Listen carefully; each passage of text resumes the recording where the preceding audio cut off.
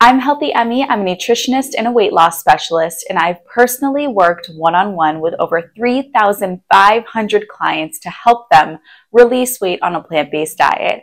I've got all the secrets and I'm sharing them with you today.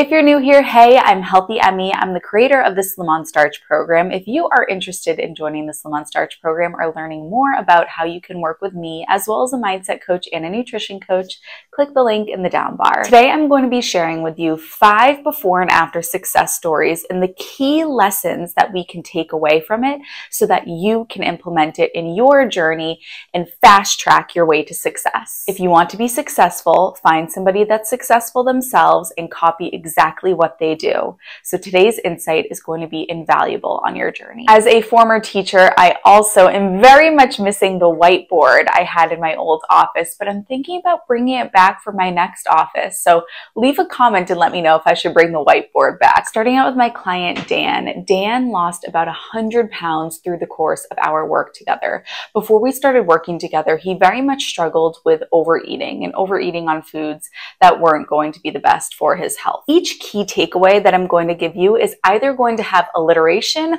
or it's going to rhyme so that you can repeat these mantras to yourself. They're going to be sticky and keep you on the straight and narrow. So from Dan, we've learned that harm reduction is headway revolution. In terms of overeating, what harm reduction can look like is it can look like I'm still overeating, but I'm overeating on healthy foods. Or it can look like I'm still eating unhealthy foods, but I'm not overeating on them anymore. I found that the latter is a lot harder to tackle and actually to still engage in the behavior of overeating but change the substance tends to be a lot easier for clients to ease into. We find that people are more so addicted to behaviors than they are substances. So we do find greater success with harm reduction when the behavior remains intact, but the substance changes. So Dan was struggling with overeating, and for him, it was progress to still do the overeating, but to change the foods he was overeating on. So he would still have a lot of food and eat until he felt a little bit uncomfortable, but the food itself had changed. Now, people can get lost in this black and white thinking where they think I'm still overeating and uh, that's not what I want to do in the long term. Therefore, I'm not doing this correctly. I never will do this correctly. I'm a big fat failure. None of that is true because as we've learned from Dan, harm reduction is headway revolution. If you are able to be okay with the discomfort that comes from not doing this perfectly, but doing a little bit better and making progress, over time, that's going to produce dramatic results, which is exactly what we saw with Dan. By the time he had lost almost 100 pounds, he would admit, I still engage in some overeating, but I've changed the food that I'm overeating on. Now, please do not confuse this with a free pass to engage in overeating, especially if you're not currently doing this. Don't start overeating, but instead look at the principle of harm reduction.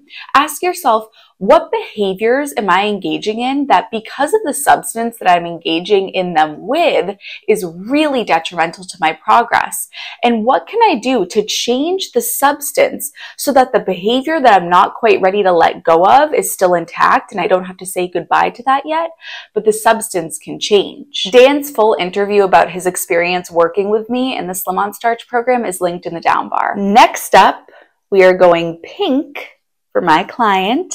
We are talking about my client, Tammy.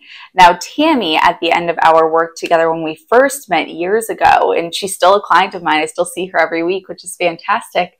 But when we first worked together, she posted a photo in the Facebook group of her in a bikini, and she said, I'm rocking a bikini in my 40s. I live in Florida. Look how confident I feel. Now, Tammy taught us something for all you busy people out there. Let's see what she taught us. Too busy is the engine, not the excuse. Side note, I thought of all of these on my run this morning, so I might I must do some really I should start rapping or poetry or something because I'm spitting bars with this alliteration. Something that Tammy and I talked about actually in our full interview, which is on my channel, is that Tammy is a very busy woman. She's a business owner. She actually lives in an RV between New Hampshire to Florida. And this is, I mean, if there's anything that's going to make it difficult for you to stay in routine, it's that you're all over the place. You have businesses that you run. You are living between two parts of the country. You might not always have access to grocery stores. She's an extremely busy woman. And we actually started working together right at the time of year in the season where her business would pick up and get very busy. And something that I asked her in her interview, I said, Tammy, how did you do this? How did you make time to do this program? Because it does require a time investment and get the success. And she said, I didn't have time to not do this program. So as opposed to, oh my goodness, I'm too busy to invest in my health and do the Slim on Starch program and do the food prepping and go grocery shopping and make time for this. Instead of that being her excuse, that was the catalyst. That was the engine that kept her going. Because if she wasn't properly fueled, if she didn't have the food thing figured out, if she was preoccupied with thoughts about her body and how it felt and that she didn't like how she felt in certain clothing, how was she expected to run a business? How was she expected to be fully present with her clients when she was buzzing in her head about food and diet and body image and all of that. She didn't want to deal with any of that. She didn't have time to deal with that incessant buzz and that low level confusion and frustration. She wanted to go out there and run her business, play tennis, enjoy Florida. So she had to do this program to make space for all of those things mentally and emotionally. So there's a saying too with meditation. If you can't meditate, if you're too busy to meditate for five minutes, you need to meditate for 10. And I think this applies to the Slim on Starch program. If you don't have time to do this program, then that means that you need the program more than anyone. Next up, I'm going red because my client Kristen looks so beautiful in the color red. Let's show her off. My client Kristen had a phenomenal transformation that I am so, so proud of. And she is so proud of herself for what she achieved through our work together. And what I really want to highlight about Kristen's journey is that for the first couple weeks, her weight actually went up.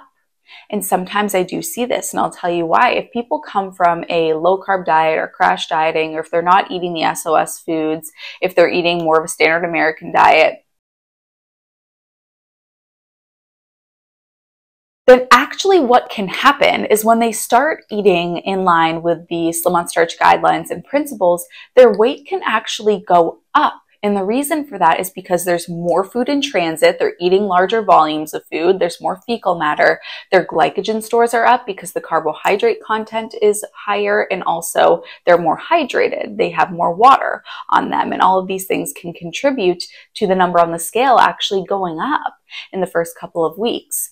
Now, Kristen had such trust in me, in her coaches, in this program that she said, I'm going to trust this process. So from Kristen, what we've learned is that patience and trust are an absolute must. If she didn't trust me and if she wasn't patient, she would have seen her weight go up and she would have run back to a low carb diet, the calorie counting, the over exercising, and she would have continued to be in the yo yo for probably the rest of her life.